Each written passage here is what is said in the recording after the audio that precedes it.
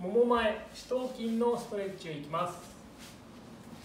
まず横に寝て、えー、下の足を90度曲げます。で下の手で、えー、ももの内側を持ちます。この状態から足首反対の足の足首を持ちます。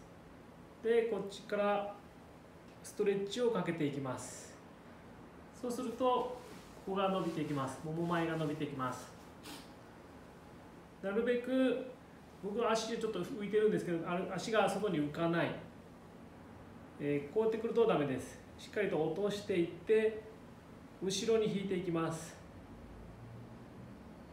後ろに引くと前がしっかり伸びてくるのでこちらを伸ばしてください。でこれが、えー、っとまあ、まずポイントはこの体が横にこうならない真横を向くことと、えー、この膝が足が後ろになるべく行くようにストレッチをかけてください。でこれが最初きつい人はあのこれで伸ばしておいてもらって大丈夫です。こちらの方が、えー、きついストレッチになります。でこれを、えー、ストレッチをかけて深呼吸5回から10回を右左3回行ってください。